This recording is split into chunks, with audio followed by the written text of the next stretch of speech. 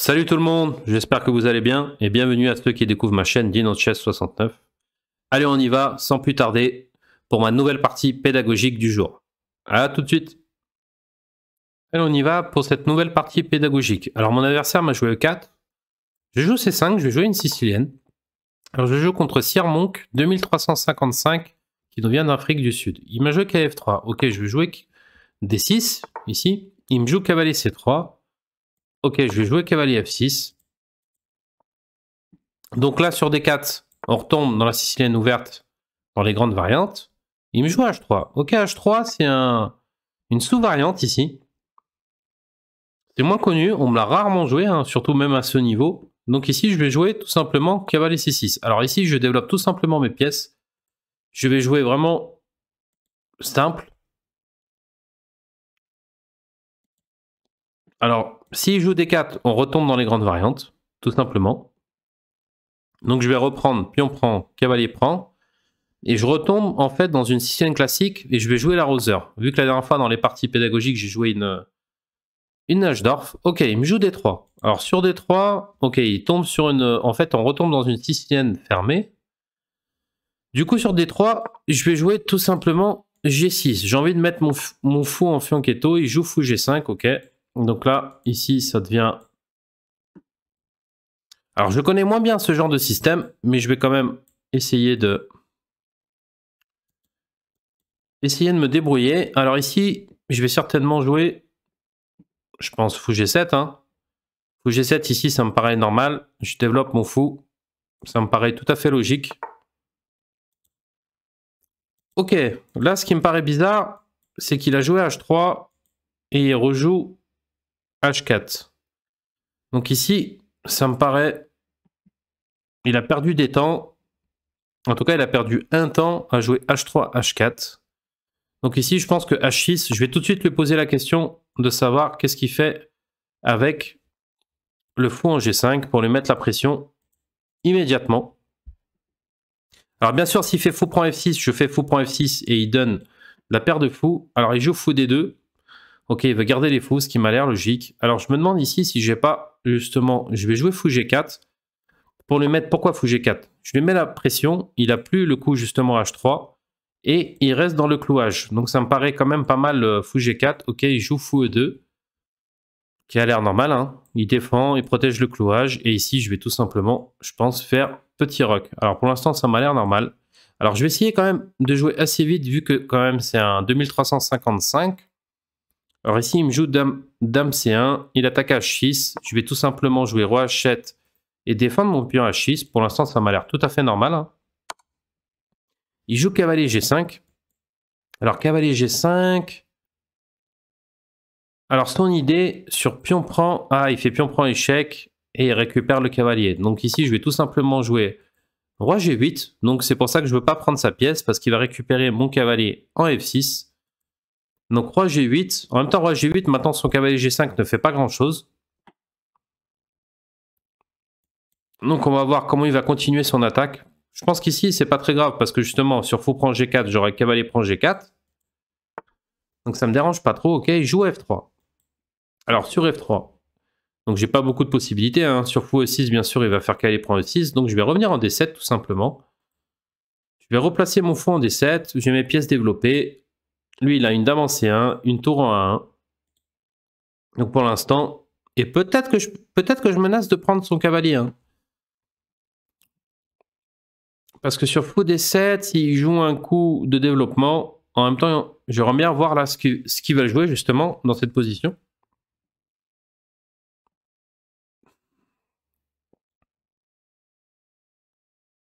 Parce qu'ici, sur Petit Rock, on voit bien que s'il fait par exemple un coup de développement classique, je vais tout simplement prendre la pièce s'il n'a plus d'attaque.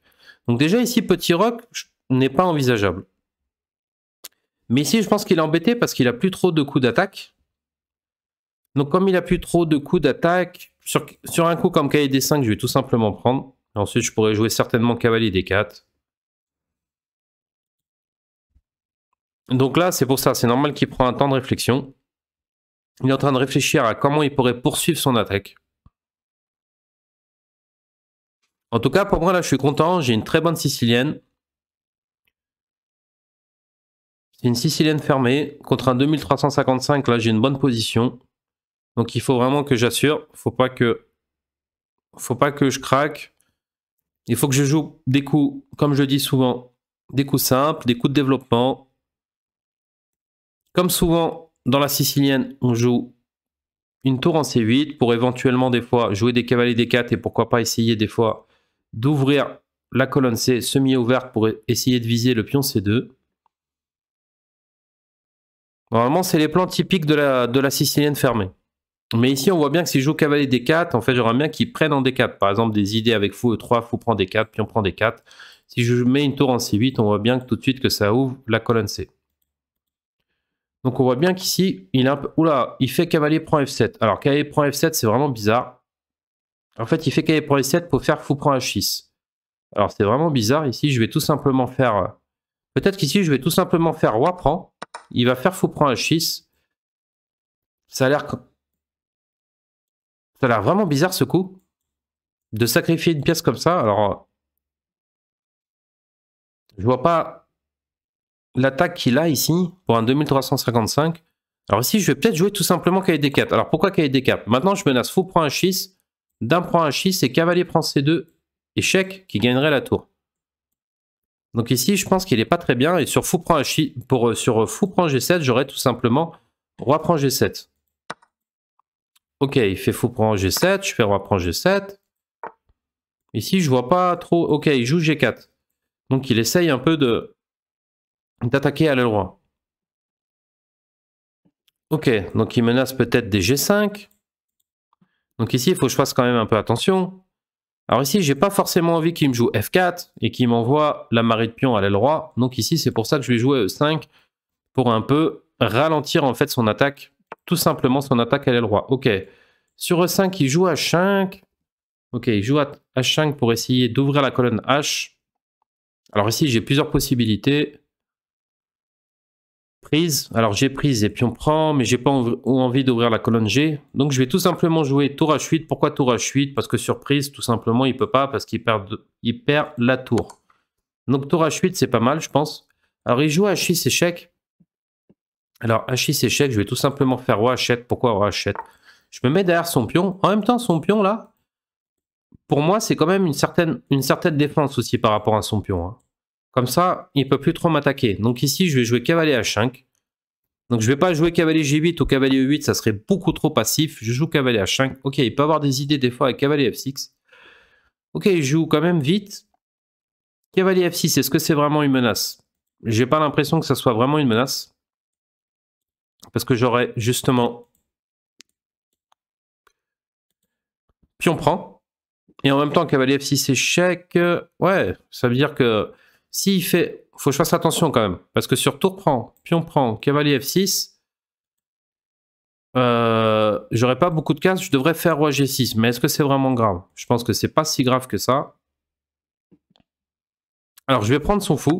Allez, on y va. Comme ça, au moins, je le déroque. Et si je le déroque, je menace tout simplement cavalier G3. Moi, je vais jouer cavalier G3 et. Échec. Je fais la fourchette. Et maintenant, je vais surtout pas prendre un H1. Pourquoi? Parce qu'il menace cavalier F6. Je n'ai pas roi G8 ni roi G7. Et du coup, je serai obligé de sacrifier la dame. Donc ici, c'est pour ça que je vais prendre le pion G5 intermédiaire en échec. Il me joue F4. Alors F4, c'est vrai qu'il joue beaucoup trop vite, je trouve, pour, euh, pour quelqu'un de son, de son niveau, de son elo. Donc F4, ici, j'ai plusieurs possibilités. Ou je peux prendre F4 ou reculer tout simplement la dame. Mais je pense que je vais tout simplement prendre ici. Hein. Si on prend F4, m'a l'air quand même euh, très fort. Il fait, ok, il fait cavalier prend F4. Ici, j'ai plusieurs possibilités. Là, j'ai envie de mettre une pression sur F4. Alors, je vais certainement jouer la tour H. Je joue la tour H F8. En même temps, je me laisse la case H8. Je mets une pression sur le cavalier en F4, qui m'a l'air quand même plutôt, plutôt fort. Et il abandonne. Ok. Donc, euh, je suis plutôt content de ma partie hein, contre un 2355 pour une Sicilienne fermée, je pense que je l'ai pas trop mal joué. Ok, donc euh, la plupart m'ont proposé justement de, faire une analyse en fin de partie. Donc je vais lancer le rapport de partie et on va voir combien j'ai réalisé dans le score du rapport de partie. En tout cas, dites-moi dans les commentaires, vous étiez à plusieurs me proposer ça, donc euh, je respecte votre avis, du coup je vais le faire. Je lance le bilan de partie et je vais un petit peu analyser ma partie que j'ai jouée. Ok, je fais en précision 91,6. Bon, avec les... Euh, avec chess.com, là, récemment, ils ont fait une mise à jour. Mon 91,6, je suis très content contre un 2355. Donc, on va voir comment ça s'est passé. Je vais mettre analyse, du coup. Ok, et on va poursuivre. Alors, j'ai joué E4, C5, cavalier F3. Bon, je vais passer assez rapidement, hein, bien sûr, les, premiers coups. Ok, C3, cavalier F6. Pour l'instant, c'est théorique. Il me joue H3. Alors, chess.com, il dit H3, c'est bon. C'est vrai que j'ai rarement le coup H3. Hein. En théorie, euh, même à haut niveau, H3 n'est pas très joué. En tout cas, je ne conseille pas de jouer H3 ici dans cette position. Je conseille de jouer D4, bien sûr. Je joue KSC6, donc je développe mon cavalier, je joue D3. Bon, chess.com dit D3 que c'est une précision. Mais si on veut rentrer dans une sicilienne fermée, c'est pas forcément une précision, mais ça reste, euh, comment dire, un setup, un placement de pièces qui est possible avec les blancs. Bon, je vais pas m'attarder dessus. G6, ok. Il joue fou G5, fou G7, je développe mes pièces. Ok, il joue H4, H6. Ok, pour l'instant, les coups, pour l'instant, chess.com est d'accord avec ce qu'on a joué, mon adversaire et moi-même. Il joue fou D2. Ok, j'ai joué fou G4. Fou G4, il dit que c'est excellent. Bon, ok, je développe une pièce, je fais le clouage. Pour l'instant, rien d'exceptionnel, même si chess.com dit que c'est excellent. Il joue fou E2, il développe une pièce, il part le clouage. Pour l'instant, tout a l'air normal. Je joue au petit roc, il joue dame C1. Ok, dame C1 est une imprécision. Alors, qu'est-ce qu'il aurait pu jouer à la place de dame C1 Alors ici, il proposait, par exemple, cavalier D5. Ok, cavalier D5, j'aurais certainement pas pris parce que sur pion prend, il attaque le cavalier et mon cavalier n'aurait pas eu une bonne case. Ok, cavalier, D5 était envisageable, mais bon, dame C1 n'a pas l'air forcément, forcément mauvais parce qu'il met une pression sur H6. Donc ici, je joue roi H7. Bon, roi H7 est une imprécision. Alors là, je suis étonné que roi H7 est une imprécision. Pourquoi? Alors je vais regarder ce qu'il proposait. Chess.com, l'analyse, l'ordinateur. Ok, il proposait cavalier D4. D'accord, cavalier D4. Et en fait, il y avait des histoires sur fou prend H6. Je prenais tout simplement H6. Et s'il faisait dame prend H6, je, et il y avait cavalier prend C2 échec. Ok, je suis d'accord. Peut-être cavalier D4 ici aurait pu être euh, une autre idée. Ok, je pense roi H7, de toute façon, c'est pas trop mal. On va regarder la suite. Cavalier G5. Ok, cavalier G5 est une précision. Donc ici, j'ai bien fait de ne pas prendre le cavalier en G5. J'ai joué roi G8. Ok, il me dit que roi G8 est le mieux. On va regarder la suite. Il a joué F3. Ok, j'ai joué fou D7, ça a l'air normal. De toute façon, je n'allais pas remettre le fou en C8, remettre mon fou à sa case initiale. Donc pour l'instant, j'avais pas trop le choix. Ok, K prend F7, il dit que c'est une gaffe. Donc c'est normal ici. K prend F7, je pense qu'il a été trop trop optimiste, mon adversaire. Peut-être qu'il m'a un peu sous-estimé aussi. Donc ici, roi prend F7, il me dit que c'est une imprécision, mais je pense que les deux étaient jouables. Hein. Tour prend, roi prend F7, je pense pas que roi prend F7 était un mauvais coup. Ok, on va aller, on va aller voir la suite. Fou prend H6. Ok, fou prend H6. Ici, j'ai joué cavalier D4. Ok, il me dit que c'est excellent. Cavalier D4, donc très bien. Cavalier D4, ce qui est bien, c'est comme j'avais précisé, c'est que je menace fou prend H6, dame prend H6, K prend C2 et a la fourchette contre roi dame. Euh, roi tour, pardon. Donc fou prend G7. Ok, donc forcé, roi prend G7. Ici, mon adversaire a joué G4, ok. G4 est excellent parce que c'est normal, il veut jouer avec F4 et balancer peut-être F5, G5 et, balancer sa marée de pion à l'aile. Vu qu'il a une pièce de moins, il faut bien qu'il trouve du contre-jeu, parce que si on a une pièce de moins, faut balancer l'attaque de toute façon, quoi qu'il arrive. Ok, moi ici j'ai joué E5. Donc E5, pourquoi? C'est comme j'avais dit, bah, E5, je pars F4. Donc E5 est le mieux, donc euh, j'ai joué un bon coup. Il me joue H5. Ok, H5 est excellent. J'ai joué tour H8. Donc tour H8 est bon comme j'avais expliqué, s'il fait pion prend, j'ai tout simplement tour prend H1, échec, et en plus derrière il perd la dame. Hein. Et sur H6, je vais tout simplement jouer roi H7, et en fait son pion, il aimerait ne pas avoir son pion H parce que il perd de l'attaque. En fait, il a beaucoup moins d'attaque. Donc moi, je suis content s'il me joue H6. Donc c'est ce qui s'est passé dans la partie, même si chess.com dit H6 c'est bon. Mais ici, je me sens beaucoup plus serein, j'ai une pièce de plus, il a moins d'attaque. Donc, si j'assure et que je fais pas si je fais pas d'erreur ou de bêtises, normalement, je dois gagner la partie. hein. Ok, il joue G5. Je joue cavalier H5. Bon, pour l'instant, ça m'a l'air d'écologique. Cavalier H5, cavalier D5.